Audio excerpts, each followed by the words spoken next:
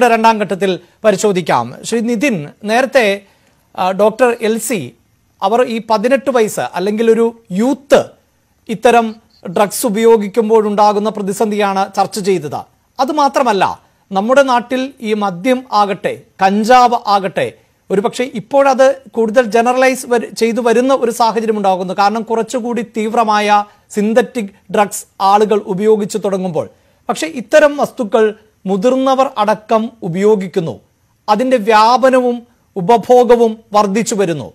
അത് കേവലമായ ഒരു സൊസൈറ്റിയുടെ ഭാഗം എന്ന നിലയിൽ മാത്രം കണ്ടാൽ മതിയോ?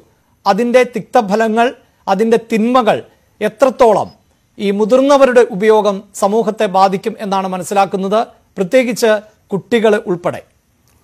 തീർച്ചയായും. ഒരു വളരെ പ്രധാനപ്പെട്ട ഒരു കാര്യമാണത്. ഇപ്പോൾ നമ്മൾ കൂടുതലും ഡിസ്കസ് ചെയ്യുന്നത് ഇതിന്റെ ഒരു സപ്ലൈ ലെവലിലെ ഒരു ഇന്റർവെൻഷൻസിനെ കുറിച്ചാണ്.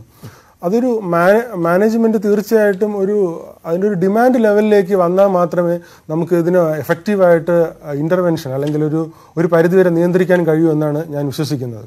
അപ്പോൾ ഒരുപാട് കേസുകൾ പല രീതിയിലുള്ള അഡിക്ഷൻസ് ആണ് നമുക്ക് ചുറ്റും കാണാനായിട്ട് കഴിയുന്നത്. അപ്പോൾ ഈ അടുത്ത് വന്ന ഒരു കേസ് ഒരു ഹൈസ്കൂളിലെ ഒരു സ്റ്റുഡന്റ് ആണ്. അപ്പോൾ ആ കുട്ടി വന്നത് ഒരു സ്യൂഡോ സീഷറുമായിട്ടാണ് വന്നത് ന്യൂറോളജിയിൽ നിന്ന് റെഫർ ചെയ്ത് വന്നതാണ്. അപ്പോൾ ആ കുട്ടിയോട് സംസാരിച്ചപ്പോൾ കുട്ടിക്ക് അങ്ങനെ പ്രത്യേകിച്ച് സ്ട്രെസ് ഒന്നുമില്ല. പക്ഷേ ആ കുട്ടിയുടെ ഇങ്ങനെ കൂടുതലായിട്ട് ടൈം എടുത്ത് സംസാരിച്ച് വന്നപ്പോൾ ആ കുട്ടി പറയുകയാണ് കുട്ടിയുടെ ഡ്രീംസിനെ കുറിച്ച് ഞാൻ ചോദിച്ചു. അപ്പോൾ ഡ്രീംസ് രാത്രിയിൽ അച്ഛൻ ഇങ്ങനെ സ്മോക്കിംഗ് ചെയ്തിട്ട് മരിക്കുന്ന ഒരു സ്വപ്നം ഇങ്ങനെ ഇടയ്ക്കിടയ്ക്ക് കാണാറുണ്ട് ഞെട്ടി ഉണരാറുണ്ടെന്ന് പറഞ്ഞു. അത് കഴിഞ്ഞ് ഞാൻ വീണ്ടും എന്താണ് അംബീഷൻ എന്ന് ആ കുട്ടിയോട് ചോദിച്ചു.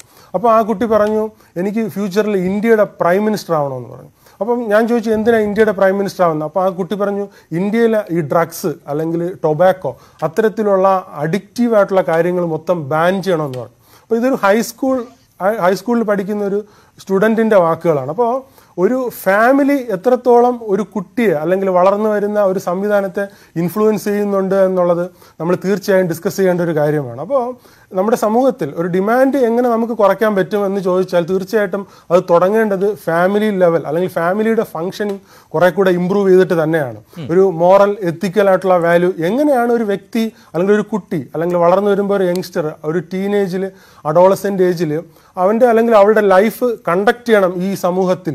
ഈ ലോകത്തിലെന്ന് അവൻ തീർച്ചയായും പഠിക്കേണ്ടത് ഫാമിലിയിൽ നിന്നാണ്. ഇന്ന് നമുക്ക് ചുറ്റും നോക്കിയാൽ അറിയാൻ പറ്റും ഫാമിലിക്ക് ഒരു തരത്തിലുള്ള പ്രയോറിറ്റിയും കാണുന്നില്ല. കൂടുതലും പാരൻസ് കരിയറിന് ഇമ്പോർട്ടന്റ് ഇമ്പോർട്ടന്റ് കൊടുക്കുന്നതായിട്ടാണ് കാണുന്നത്. അപ്പോൾ അത് സബ്സിക്വന്റ്ലി തീർച്ചയായിട്ടും ഫാമിലിയുടെ ഫങ്ഷനിങ്ങിനെ സ്വാഭാവികമായിട്ടും ബാധിക്കും. അത് ബാധിക്കുന്നത് വഴി കുട്ടികളുടെ അല്ലെങ്കിൽ അടുത്തൊരു ജനറേഷന്റെ മോറൽ എത്തിക്കൽ വാല്യൂ ഓറിയന്റഡ് ആയിട്ടുള്ള അവരുടെ ലൈഫിനെ തീർച്ചയായിട്ടും സ്വാധീനിക്കും. അതുവഴി അവരൊരു ലൈഫിനൊരു മീനിങ് ലെസ് ആയിട്ടുള്ള ഒരു സിറ്റുവേഷനിലേക്ക് എത്തപ്പെടുകയാണ് അപ്പോൾ എല്ലാ മനുഷ്യർക്കും ആത്യന്തികമായിട്ട് അവന്റെ അല്ലെങ്കിൽ അവളുടെ ജീവിതത്തിൽ ഒരു ഫുൾഫിൽമെന്റ് ആവശ്യമാണ്. അപ്പോൾ ഈ ഫുൾഫിൽമെന്റ് അല്ലെങ്കിൽ ആ ഒരു എക്സിസ്റ്റൻഷ്യൽ വാക്വം വരുമ്പോഴാണ് പലതരത്തിലുള്ള അഡിക്ഷനിലേക്ക് അല്ലെങ്കിൽ കുറെ കൂടെ ഇൻസ്റ്റന്റേനിയസ് ആയിട്ടുള്ള ഗ്രാറ്റിഫിക്കേഷൻ അല്ലെങ്കിൽ ഇമ്മീഡിയറ്റ് ആയിട്ടുള്ള പ്ലഷറിലേക്കൊക്കെ പോകുന്നത്.